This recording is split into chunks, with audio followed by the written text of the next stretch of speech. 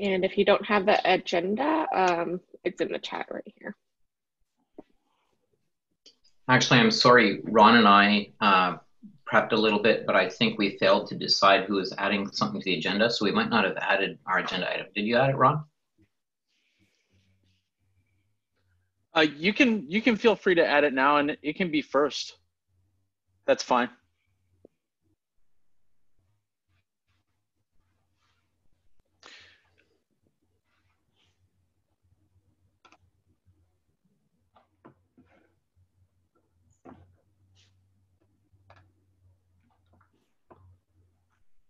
Sure. So what we thought might be helpful would be to talk about uh, some scenarios on uh, what uh, conflict resolution might look like in a world where we confine steering to the three responsibilities we talked about last week. Um, but uh, that's probably a pretty long discussion. So maybe we should uh, put that second after Paul's agenda item. Okay. Um, sorry, I have I'm getting text from a couple of people saying they're having trouble getting in, uh, but that's okay uh, since it's recorded. Um, yeah, so I had wanted to uh, I had just wanted to close out discussion on uh, on the PR that we have open. Um, we we wanted to bring it to a vote in our next meeting. So I just wanted to make sure that there weren't any like outstanding things uh, about the proposal that require further discussion. Um, and if if there aren't, I'm happy to move on to hear uh, you know hear what uh, Alex and Ron have brought. Um, okay, well maybe we can return to that at the end as well, because maybe as we walk through the scenarios we're talking about, um, that might illuminate our opinion on voting in particular. Um, so, uh, Ron, do you want to kick it off, or do you want me to start? Uh, I thought you were going to start us off. Um, sure. happy to. Well, we thought it would be really valuable to spend a little time walking through some hypothetical conflict scenarios. So, as a group, we can either identify problems with the narrowing steering committee scope proposal, or hopefully become much more comfortable with the proposal. And so as a quick recap, the proposal is to tightly constrain what steering is responsible for to just three things, just code of conduct, uh, trademark administration and advising the trademark holder, and uh, reviewing and approving scope changes to core.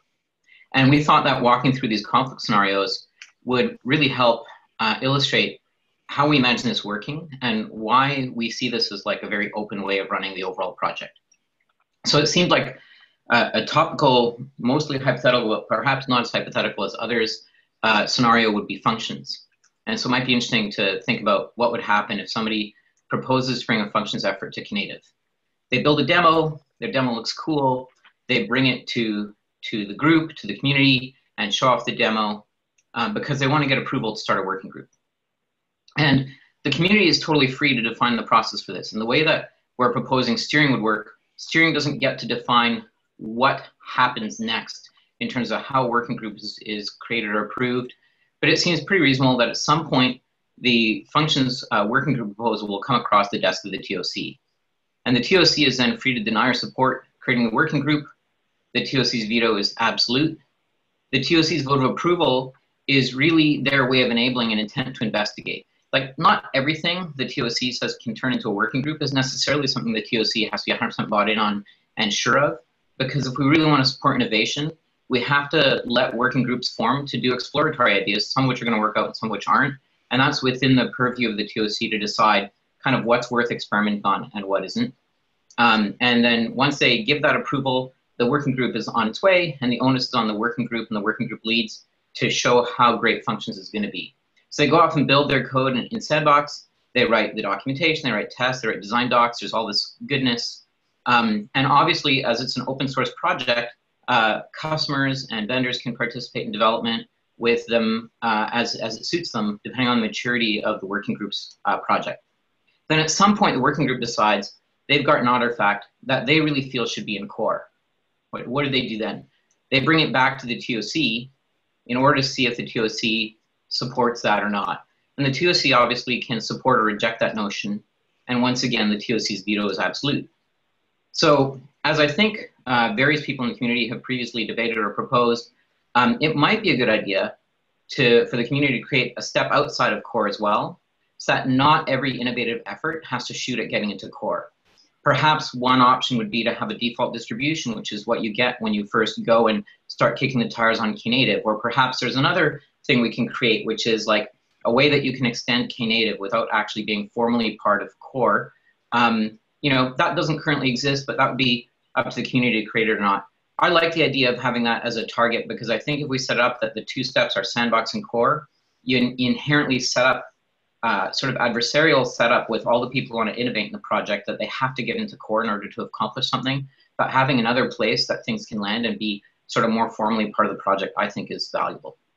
So I, I like the idea of a default distribution, but there's lots of different things we could debate here. And it's really, at the end of the day, up to the community to come up with the structure they feel is right.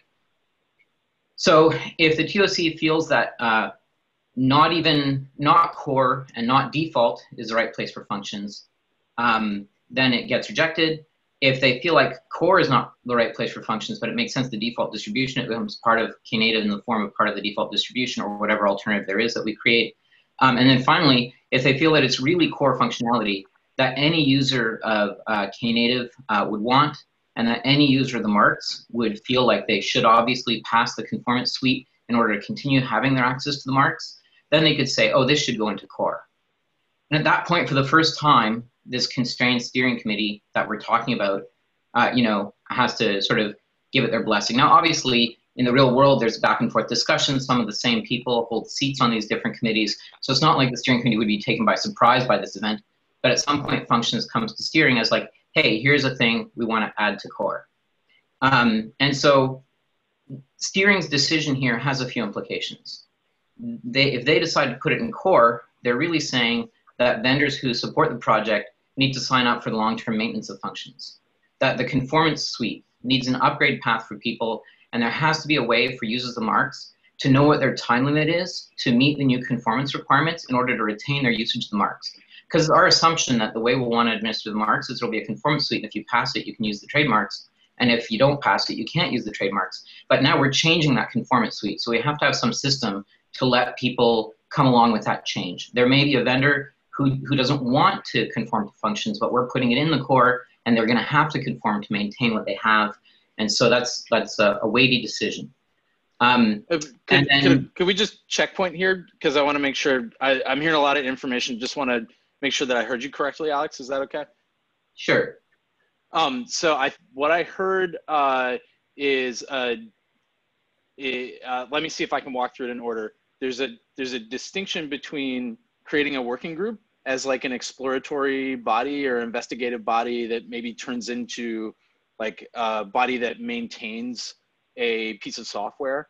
And if I heard you correctly, you view that as a decision that the TOC makes, like uh, uh, around okaying the working group, with the knowledge that like creating a working group isn't uh, necessarily endorsing something for the scope or endorsing a piece of software that that working group would eventually create. But the first thing I heard is is uh, uh, decoupling those two things, and that the TOC has uh, approval or veto on creating working group. Is that accurate? Yeah, that's right. And I mean, the TOC and in general the community are free to define the structure we think works best here. The goal is to support innovation.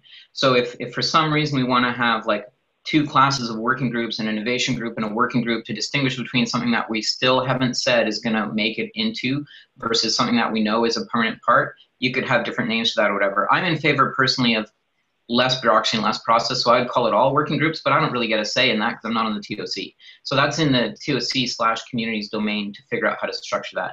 And similarly, you know, if at some point the project grows to a size where we feel that these aren't technical decisions, but are decisions that we want made by a different subcommittee, we've just created a new subcommittee that would run that, whether that was you know, a proposed operations committee or whatever it was. But the goal here is to have the control of creation of working groups and funding like innovative efforts and ultimately deciding whether those things should be in the default distribution, all those things should be uh, in community control, right? So the, the, that that's the point of this constraining of steering functionality is to make sure that we can run the project openly and have people contribute in a meaningful way um, while not having every such contribution affect what it means to get access to the trademarks for everybody who wants the trademarks or affect what it means to be knative compliant um, so uh, i think that the third point in this section here is that i think we steering should consider voting to be a sign of project dysfunction um, in practice, that means that consensus based decision making should be the norm. And so if functions comes to steering, and let's suppose Google is in favor, but someone else on steering is not in favor, that's not consensus.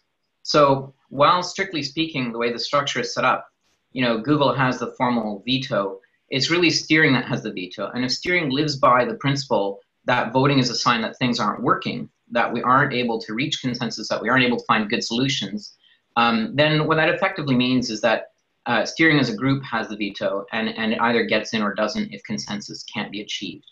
Um, so if I could if I could just replay what I what the next pieces were to make sure that I heard it correctly is um, if we walk through like on the the timeline of working group incepted to uh, something being added to the core scope, uh, what I what I heard was that um, that say that say that working group X is created and they make software component X um, and they do all the things to make X really good and have broad appeal that they're if if they want to um, uh, well there's two things here. One is that uh, I heard a I heard a uh, a principle of like it's we don't want there to be an incentive to to legitimize things by putting them into the core. So like if we have something that's like that's useful but not in core it's it's no less legitimate than something that is in core but if it is in core uh, there's maybe some additional expectations around uh, it has representation in the conformance suite has representation in like a future like starter default distribution type concept but if uh, if working group X wants to bring their piece of software into core, uh, I, I heard that the first gate to pass is TOC, and then the second uh, gate is steering. And at both of those, there's a absolute veto. Is that right? That's right. Okay. Because it doesn't make sense to, to me at least, I, I think I can say to us, it doesn't make sense to us to have a world where um, you know, steering reviews something before TOC has blessed it because TOC's veto is binding and is is first, therefore, right? Um, and so yeah, it's the first gate is getting by uh, TOC. So I, I think um, we have I think we have a number of hands up. Uh, can we take maybe a couple minutes and and drop? I have like hands? two more sentences, and then I'd love okay. to open it up and we can go through the chat here. So the last two sentences right. are. Um, you know, if steering uh, supports functions being added to the core, then it gets added and the trademark users are notified that they have to meet new requirements to continue using the marks. And if steering doesn't support functions being added, they can veto it, but functions could still be sort of legitimized, to use your word, uh, by putting it into a default distribution or whatever other mechanisms you want to have to indicate that this is truly like a thing that we plan to support as a project long term. It just isn't a requirement to use the trademark. Um, and you know, vendors should expect that not everywhere where they go, or customers rather, should expect that not everywhere where they go will the vendor necessarily supply the Knative functions because they're not required to in order to conform. So that's sort of the implication. Um, so uh, I I think we should just start at the top here from the chat. There's quite a lot in the chat. Um, and yeah, I would say, Alex, there are Marcus and Jules' comments are all around the same spirit. Um, and so you can, I think Jules uh, had one really well generalized one that I think covers most of them. Uh, so that's great, but Evan was actually first with a question about conformance.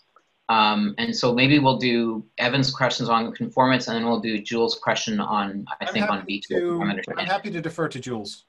Okay, well then, Jules, why don't you go ahead and express it verbally for everybody, and then we can try to respond. Um, okay, um, so uh, I just wanted to be um, clear on what you were saying. Um, uh, you were saying effectively everyone on steering has a veto because um, we look for consensus. Um, is it the case that in the failure case, as in when it does come to a vote, um, everyone's vote is equal, or does one vendor or a subset of vendors have an actual veto as well as a, effective veto? Um, that that's true with two important caveats. Um, so first off, uh, there's nothing preventing us from creating yet another veto capable body or giving veto power to every individual on the TOC or distributing vetoes as broadly as we like. So if the mm-hmm. issue is, for example, that we have vendor stakeholders, all of whom would like a veto, we could create a vendor subcommittee uh, of veto power and veto empowered individuals and, and have them also be a gate to approval. And that doesn't seem to be a problem.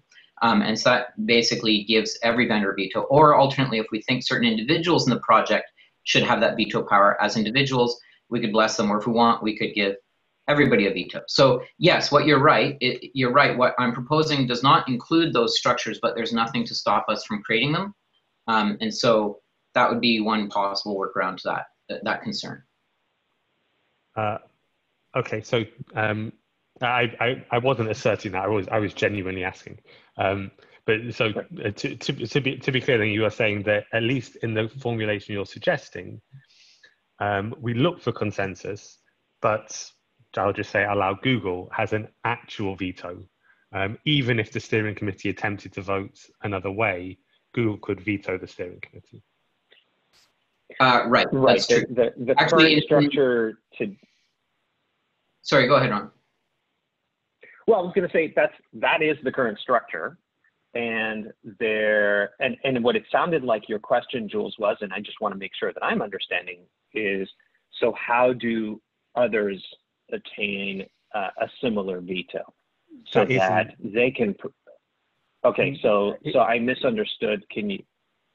It's uh, actually the other way up. Let, let, let, me put it in a really awful way. Um, how yeah. does Google lose that veto? Let's say that Google doesn't contribute anything to the project for five years, and everyone else does, right? right? Uh, at what point does Google not have a super veto that no one else does? So there, there's two ways I can imagine that happening. Uh, the first way is that at some point, I think we all aspire to this project growing big enough and popular enough and supported by enough contributors that we're all in agreement that we should move it into some kind of uh, you know other state from what it's in now.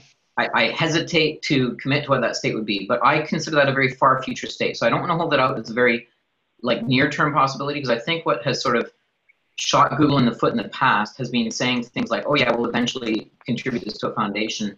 I think that's probably still true, but I want to put eventually so far in the future that we consider that a fantasy.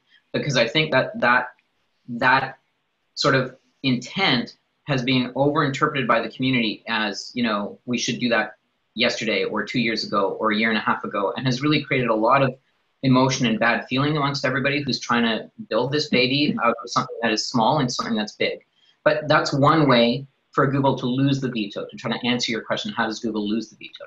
And the other way quite simply is you know people get irritated and fork the project. There's at the end of the day it's open source to give everybody that security that that that is the path of last resort. I i consider that a terrible vote of no confidence in the leadership of the project but that is the other pathway.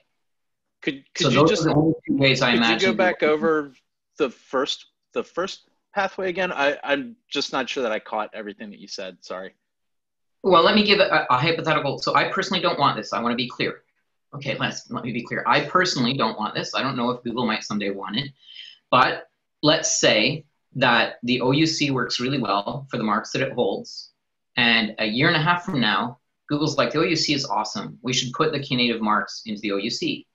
And so then we as a project look at that, steering advises that maybe I've been gotten rid of by then, so my opinion doesn't count.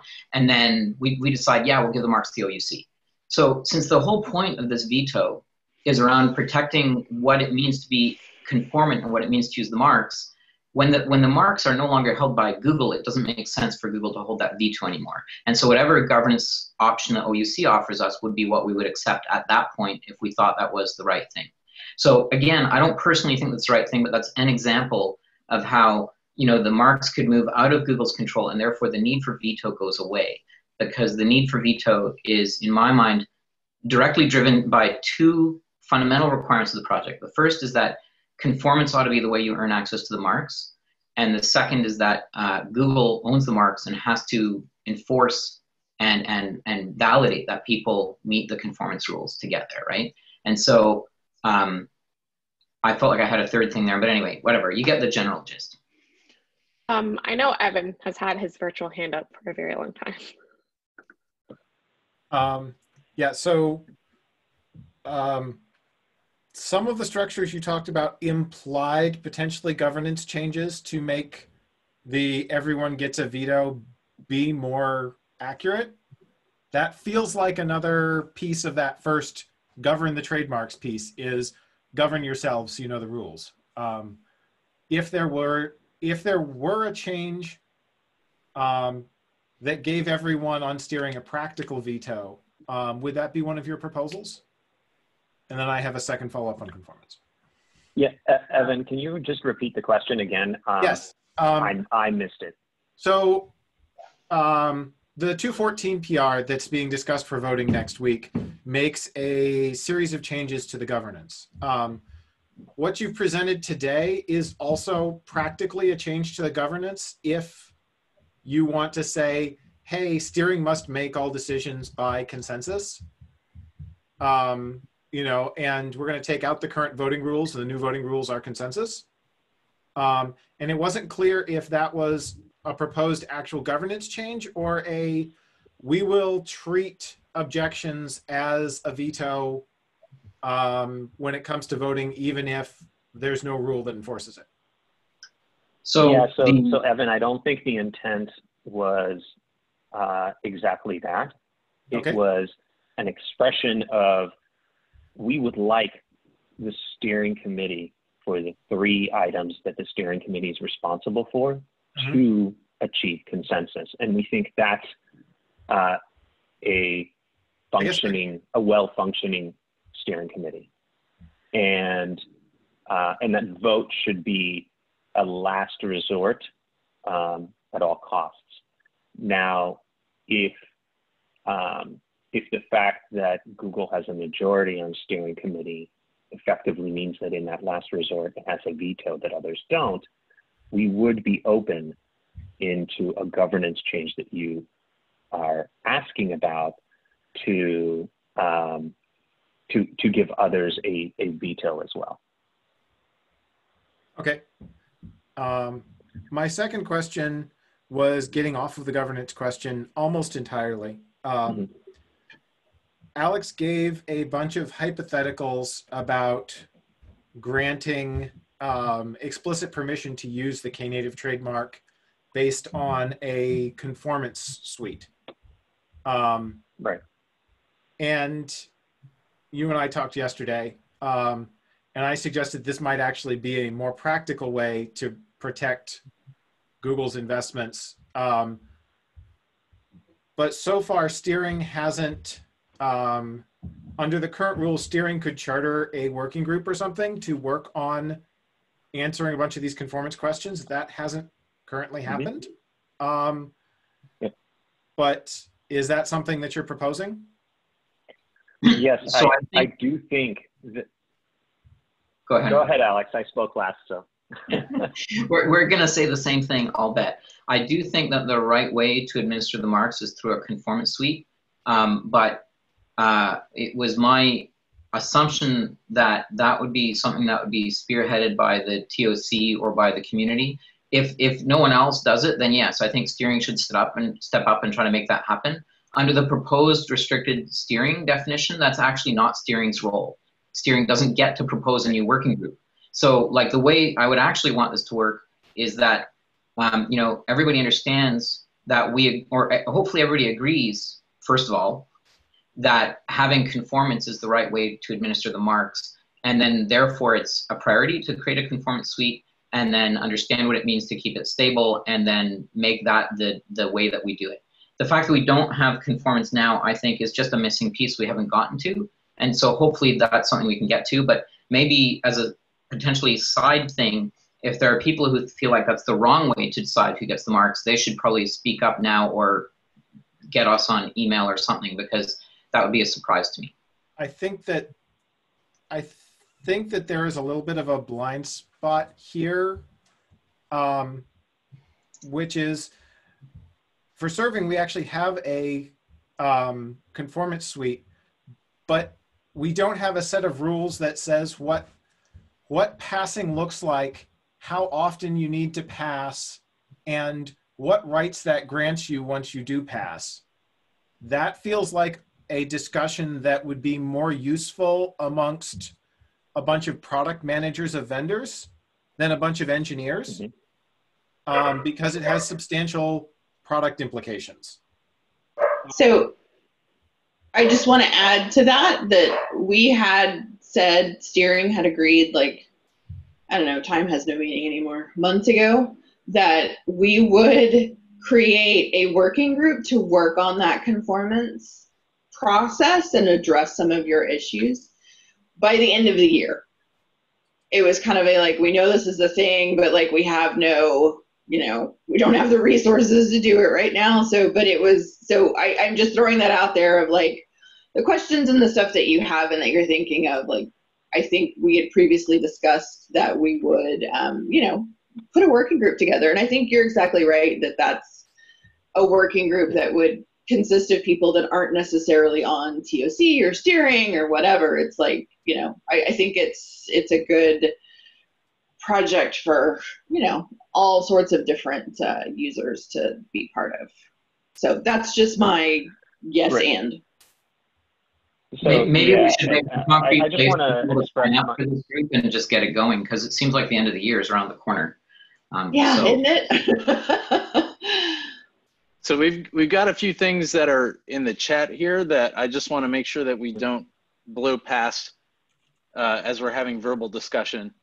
Uh, let's see. I think Marcus, Ben, Matt, you've all commented in the chat. Do you want to surface any of that into the audio?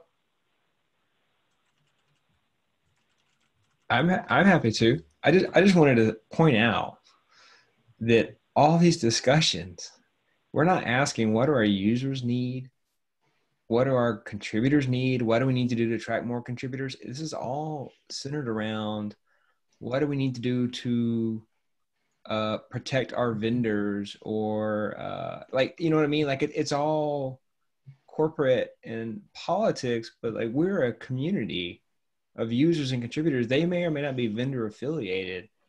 Um, so it's just an observation that like, what does a community need? And is the community's biggest need um, defining who can use the Knative trademark? Like, is that the biggest pain point we have right now as a community? And that, that prevents more users from adopting us and more contributors from contributing? I I don't think so, but neither do I think that all those other more important needs are the purview of steering. That all those things you're talking about, which I think are way more important than this, and I expressed my view in our first public meeting that we shouldn't have public meetings on this because I felt it would waste the team's time on things that are not worthy of having the whole team involved. Um, you know, all those things can be done in parallel or irrelevant to this decision. This decision doesn't affect the community's ability to create an operations working group to drive conferences or do marketing. It doesn't affect the community's ability to go and start new working groups and, and try new innovative things. It doesn't affect our ability to move the project forward. This is, if we want to have a trademark that underlies our open source project and we want that trademark to be the Google owned mark, this is the solution to making that have a well defined process that everybody understands and knows how to get access to that mark. If we don't want the mark, we can just fork and work off the fork, or we can just ignore this discussion and let you know let those steering mucky mucks do whatever the hell they want. We don't need to spend 50 people's time debating how the trademarks work Yeah. because I agree with you, Benjamin. It is not the most important thing, but that is what we're doing for the moment. Can I offer a way to slim down the problem space here? Um, I think I think putting uh, powers in the project into the hands of the community uh, around reducing the scope of steering, like I think that makes sense. Um, it means that we can we can have more folks working on more things that are important instead of uh, like fixing the bandwidth available to the people that aren't steering. I, so let me offer a hypothetical here. So say that uh, modulo the details, and I think there's plenty, right? Uh, but modulo the details, say that we did reduce the scope of steering to uh, what you all have proposed, and we use the model that is in the uh, community 214 proposal for determining how steering is composed. Is, is that operable? I don't No. think the model that's proposed in the PR fits with these responsibilities of steering. If we wanted to do something like create uh, a new a new steering that was composed that way, whose whose job was fit for the purpose of, for example, having customers on the board, um, then that would make sense. Or if we want to take the existing steering and call it the board and make a new steering, which is this uh, community elected thing that is like an operations committee slash uh, you know marketing slash events type focus or community building type focus, we could do that.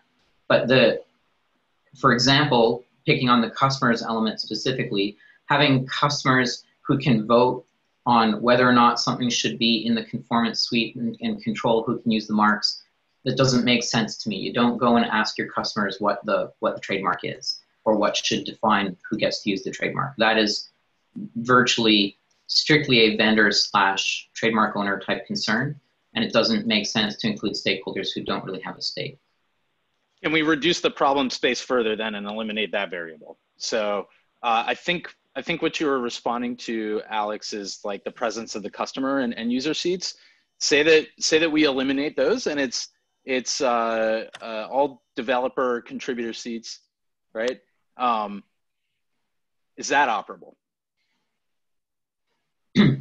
I guess I'm, I'm not sure what the value is that we're trying to add here. The, the way I understood the PR's proposal is that its goal was to enable the community to drive the project.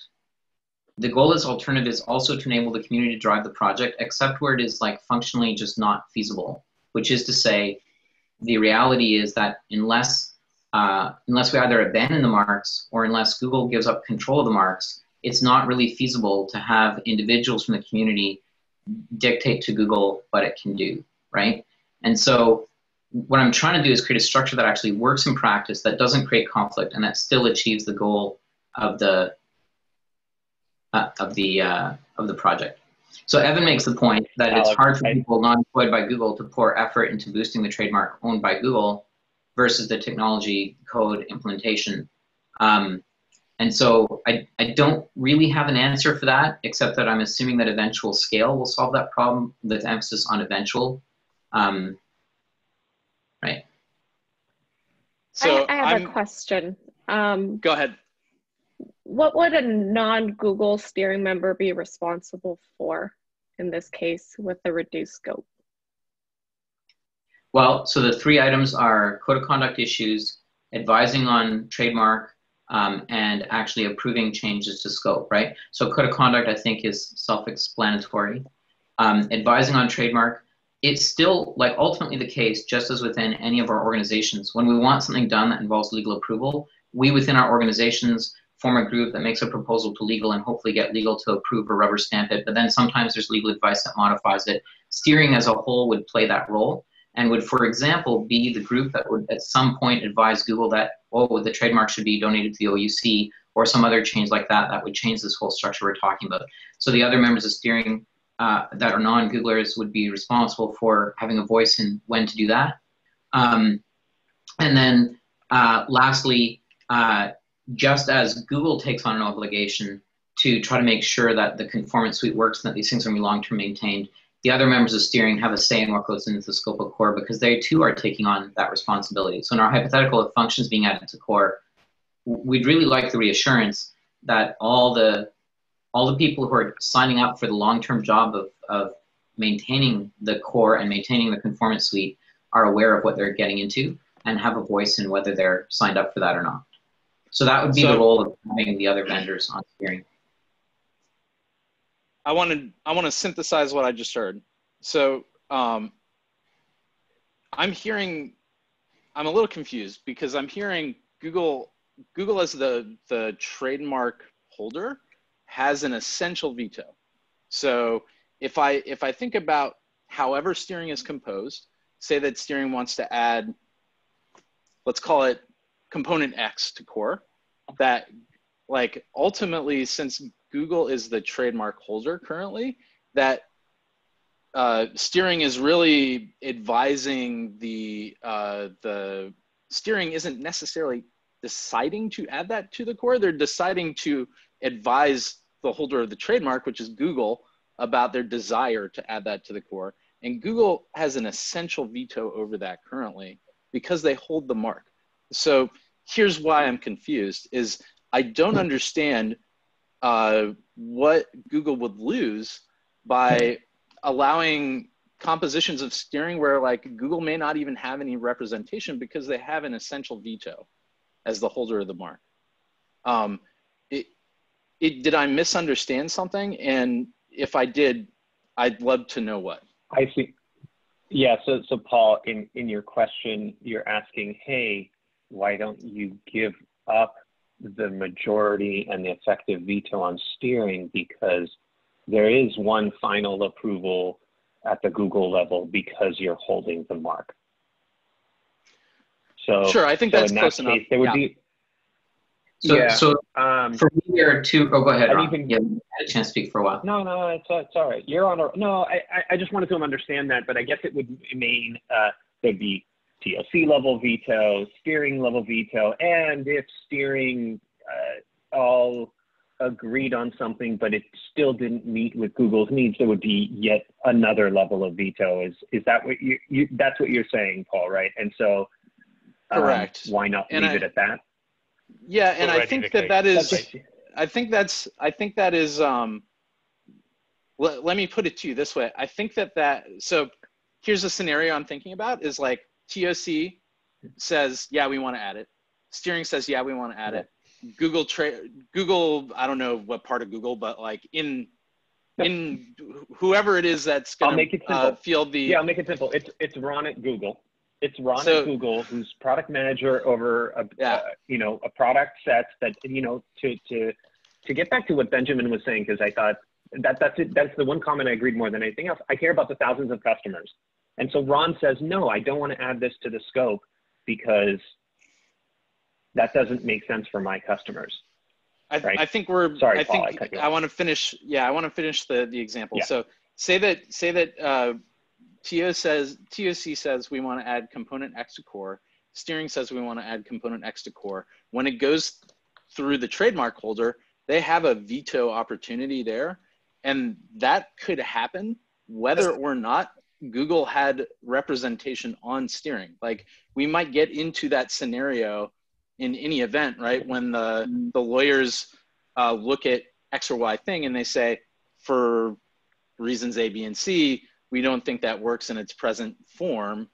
Uh, As a maybe maybe it delivers some guidance back and we we mutate the proposal, right? Right. So, um, if we decide to I- add I'm- lambda, the lawyers will probably tell us don't do that. Correct. So what I'm what I'm asking is like if I, it's not clear what Google loses if we if we have like Yeah. a hybrid approach of uh, decompose the responsibilities of steering and empower the community, right? But also have steering be elected and from the community and determined according to the mechanics that we have in the proposal. It's not clear what Yeah. you lose. I I, I think. Yeah, I think I- the project loses. say again, Alex. I think the project loses. Like I, What? I'm trying to create a structure here where we have control of our destiny as a project. At the end of the day, the people who we put on steering are still going to be, uh, if nothing else, the managers of the engineers who are investing their lives in the project, and they have a vested interest in seeing the project be successful. Steering, if we want steering to have a voice and have influence with Google's legal department, and steering consists of you know four Googlers and three vendor seats as it is today, then all those people have a voice in where this goes. And we have real teeth when we advise legal because there's a lot of control for Google already implicit there. Imagine a world where there's no Googler on steering. we compose steering out of all elected seats and no Googler steps up for the election and there's no Googler at all. And that group has to go to Google Legal to get them to approve something. Do you think that body is really going to have a voice? Will the project actually be able to drive the changes it wants? If the change we want is to donate the trademark to UC, will we be able to do that? Is you're just setting it up so that this is a lame duck body that can't actually drive the decisions or where there's a single rogue product manager whose name is Ron at Google, who's decided his customers are special and they need something different than what you want, so all your stuff is out. Like, let's not give away the power that we have in the interest of some democratic ideal that just doesn't work with the structure that we have. I mean, your, I, your I, audio broke up there, Alex. You might want to you might want to repeat that. Yeah or maybe he can't. So let's, because uh, his video went away towards the end there. Jules, did you want to? Sorry, Paul. Was going to just let Jules speak while Please, Alex go is getting his connection back. Okay, I guess so. I'm a, I'm a good filler. Um, uh, I have to say no, that, not as that, a filler. Um, that um, has, I, I have to say that actually um, felt like a description of exactly the problem here because um, I, I think what was just said was basically even if steering wanted to go in another way, um, unless they can convince the Google subset of steering, um, it's not going to have an effect on the direction of the project. And I mean, I think I think I think you may have accidentally summarized the problem that we have with this. I, I, I it wasn't on accident. I think that's that's where we're at, Jules. I, I, no one is disagreeing with that.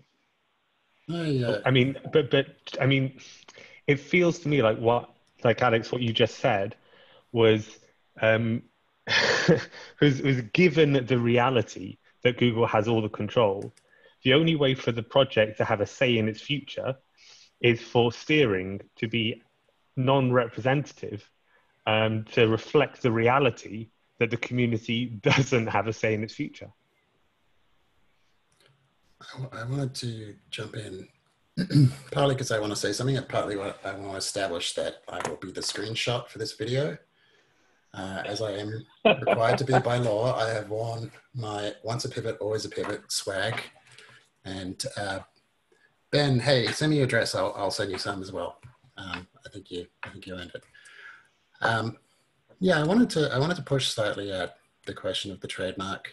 Um, I think Alex is right in that Google legal folks would do their fiduciary as fiduciary, yeah, fiduciary duty as as lawyers working on behalf of Google to defend its interests uh, to the best of their abilities. I think that's fine. The thing to bear in mind, though, is that Google is within its rights essentially to covenant that trademark. Like donating to foundation is, is one very explicit way of doing that because it creates a separate legal ownership, but it can also basically bind itself publicly. Um, there's an argument to be made, and again, I'm not a lawyer, I dropped out of law school, but my favorite subject was trusts. And there is an argument to be made that we have a de facto unincorporated association. We have rules, we have voting procedures, uh, we have things that we coordinate on. You can create an unincorporated association by saying, George, let's start a TV watching club. Like it just happens from the facts. And that typically speaking, since it's unincorporated, it has no legal personality. And so any property that's associated with that group is held on trust by someone, usually the legal owner. Google is at risk of being seen as a trustee. You own the trademark, you have the legal rights to the trademark, but You've also involved yourself in an unincorporated association as a voting member. You've got rules that you participate in that we're debating. It could be made uh, an argument that as a trustee, or that you have created a trustee relationship. You never have to say, I'm a trustee to be a trustee. It arises from the facts of the situation. And if Google has created a trustee relationship with the rest of the community, that's a problem for you. Your, your legal position changes from being the absolute undisputed owner, able to dispose of the property however you please, to a trustee relationship in which you owe a fiduciary duty to the community, which means you cannot put your interests ahead of the people on whose behalf you hold the trust. Does that make sense? Again, I'm not a lawyer and this is not legal advice. It's for entertainment purposes only. but I would caution I would caution against taking the view that you have an absolute power over that trust. I, I would caution that your actions have possibly created a more complex legal relationship than you currently envisage in this discussion.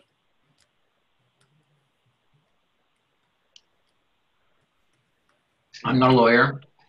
Uh, I think it would be a step backwards for us to bring lawyers into this meeting, and I think this is the path of bringing lawyers into the meeting. I, I Uh, just wanted to bring it up. Can can I float a No. can I float a a, a further uh, possibility here, like another permutation that might help to bridge some of this?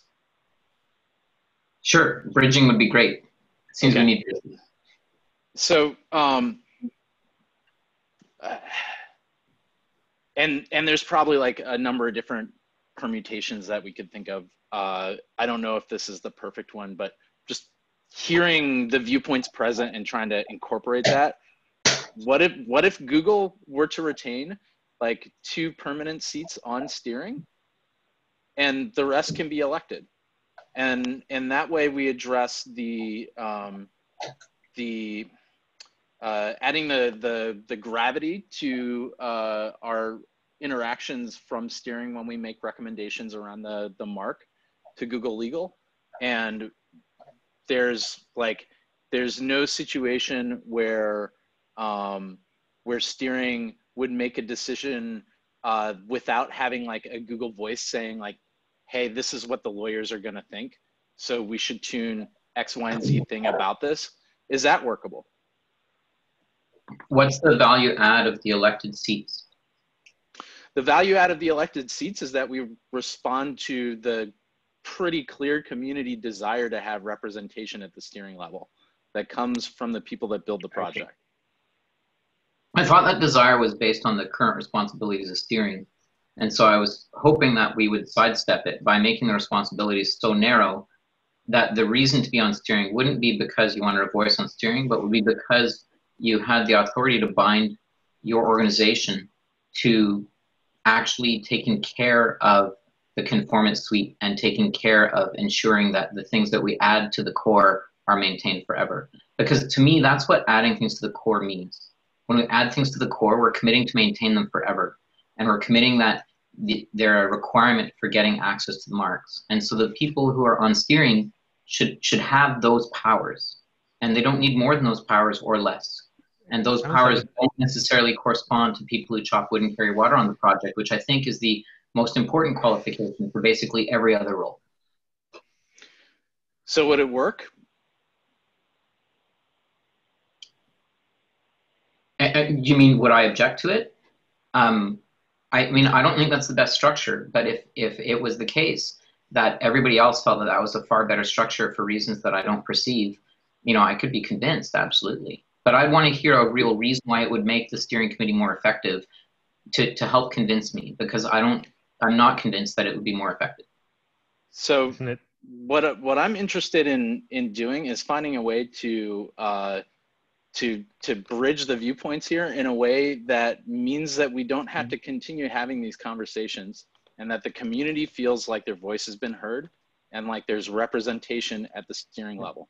So I think the value add of of finding a workable solution is that we can uh, we can put this matter to rest and we can move on and we can we can concentrate both the steering and as the community on doing uh, on carrying out like reduced scope of steering and increased scope of community responsibility in the project. That's what I'm interested in doing. So, yeah, so Paul, uh, me too. I think you've been part of this conversation about two orders of magnitude longer than I have. Um, so, and I'm, I'm beginning to empathize quite a bit um, because, you know, there have been a number of comments around these weekly uh, shows, if you will, um, where I, I think we're trying, we're all trying to make progress, but we haven't. I, I, I for one, I, personally like your suggestion because I appreciate that it's in the spirit of let's find a way to move forward so that um, Alex and I can get the can meet the requirements that we have. We can get better community representation in the leadership of the project. I think I think the, ultimate goal is to get leadership uh, leadership in the project from the community. Um, and if you think that's uh, a way to bridge that gap, I think we should consider it. Um, I, I agree with Alex's sentiment that I'm not sure that I understand why that would make things better, but that doesn't mean we can't accept it. Um, I would like to make sure that we avoid this this going around in circles for a long, long time, and and so uh, I you know with with the five minutes that we have left, I I think we should consider that, Alex, and uh, figure out if, if, if that's a way to find a compromise that lets us address the, the key things we want to be able to keep for the steering committee, that, that one focus and the last little bit that, that we need to be able to retain, while at the same time drive more of the uh, uh, community participation in steering. And I think I'll, I'll leave you with one last thought, Paul. I, I think what that starts to look like is the fact that we, we need a steering committee that is a steering committee for the Knative project. And what we're what we're focusing here is actually the the new definition of steering where maybe Google has two votes, but the veto and all, all of what you're talking about is actually more acting like a board than a steering committee more than anything else. Um, and, and that's what it starts to look like to me. So for example, the board at, at any corporation really has just one job to elect and fire a CEO. Um, and everything else is actually just advisory. So anyway, I, I don't want to get in, into a tangent. We should still call it the steering committee. Um, um, but that's that's the thought you put into my head, Paul, as as, as you were describing it. Um, I think I, I have some follow-up questions for you. Um, we, we don't have to do them right now. There are a bunch of other comments and we have only five minutes left, so I'll, I'll stop talking. Akron.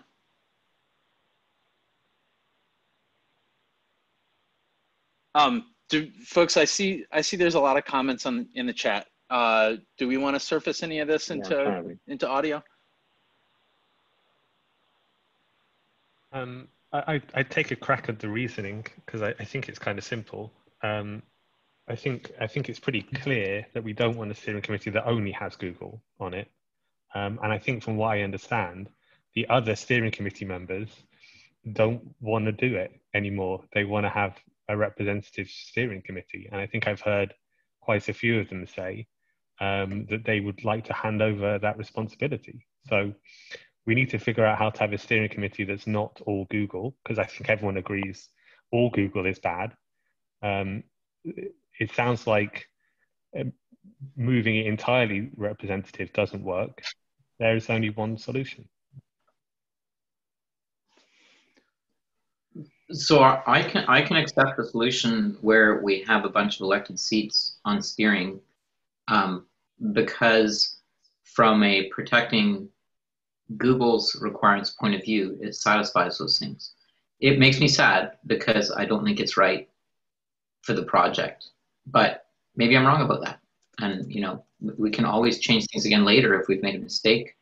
Uh, we don't have to like the things we do will always change year over year. So I don't, I don't, I don't profess to have a crystal ball on this.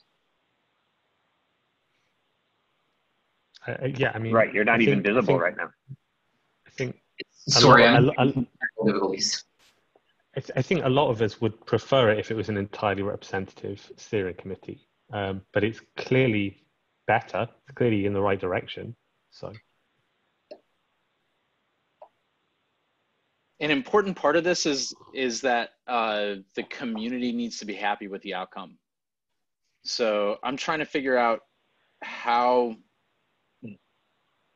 how we Honestly, can. Paul, I think yeah so, so the community is extremely frustrated right now. Uh, again, from the, the newbie in the room, the community is extremely frustrated. It's not going to magically just in one week be happy.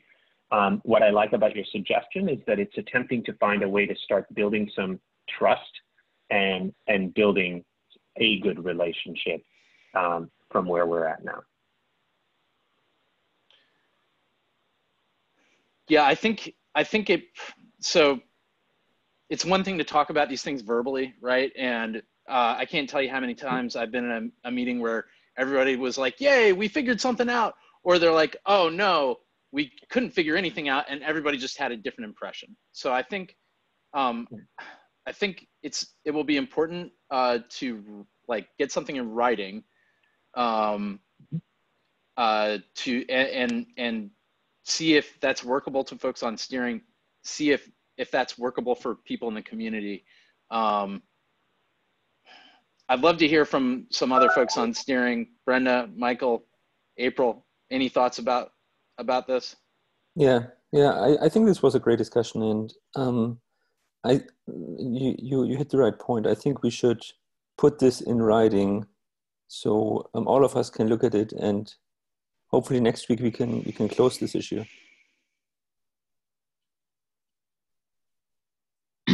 I can take a stab at uh, either modifying the existing PR or making it. I think it might be easier to make a new PR based on it and then put uh, a comparison PR. Um, you know, I I will struggle with it a little bit because I I'm having difficulty understanding the value of the elected seats. Um, but uh, we can do that. Okay. Um, I think I think you're probably right about it's probably easier to write a new PR and diff them, and you know you can PR my PR if we if we find a, a reasonable diff, or we can we can look at a second PR. Do we think we would be able to have that PR out soon, just so everyone has a? I think the rule is to like have a week, have it out for a week, and then we can vote on it and etc.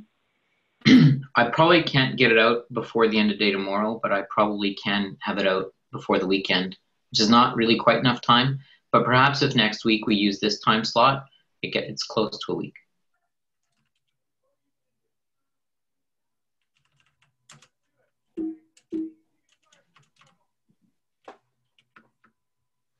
If I may add uh, one comment, given the context of the frustration signal from the community that might lead a project to a fork, which in sometimes can be healthy for the community, but not of the call them owners of forked projects. And, and sometimes it can turn out better for the owners of the forked project.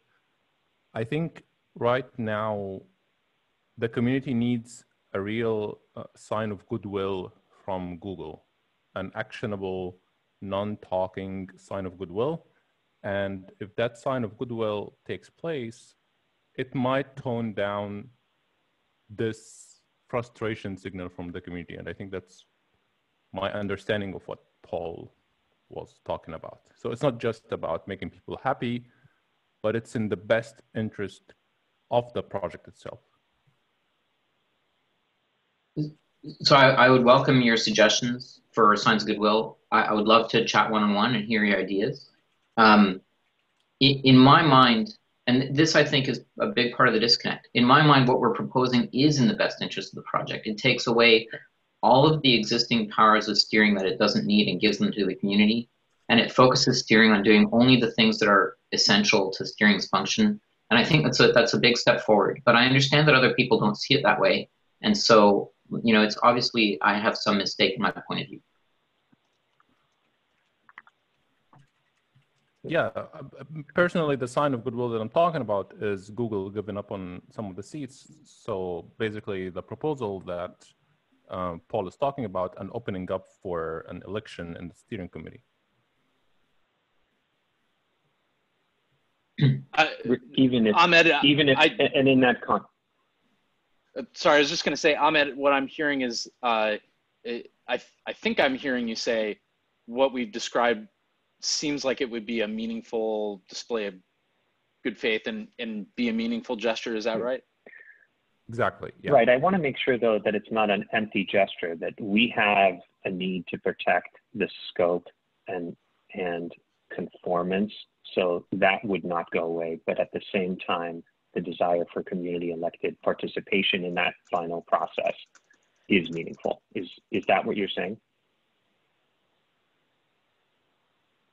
I'm saying that if this one, like I am, I'm seeing this specific suggestion as a sign of goodwill that might help toning down the, the signal. And if Google wants to provide something, it should be something equally effective in toning down the signal. That's basically what I'm saying. Okay. Um, if I can can sort of summarize my feeling on this, um, right now it feels like the community doesn't have a lot of trust in steering for two reasons. Um, one is the seats and governance thing that we're discussing here, and the other is that um, historically steering has not been able to make a lot of progress. And so it feels like if we could show some positive progress on the governance and then delegate hard problems, you know, steering says, well, we're actually going to pick on some other people and make them solve this. And they can have open meetings and steering can go back to, you know, arguing in dark rooms. Um, but the stuff that people care about, like trademark, is happening in an open room where everyone can participate. Um, that feels like it might let a little bit of the pressure out.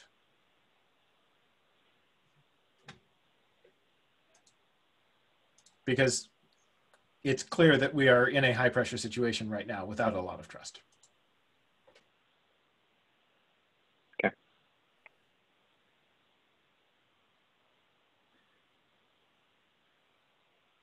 I'm trying to read the comments and they've gone past the.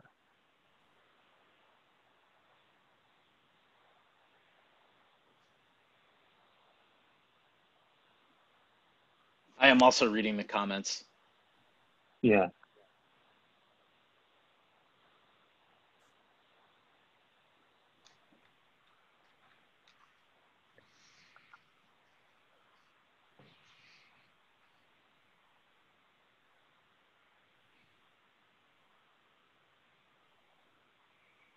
I think what we really need is to have this proposal written down. Otherwise, it's going to be an endless conversation about what ifs and ideas and so on. Yep. I think if we can get something really written down, a stake in the ground, then let's talk about that versus additional what ifs.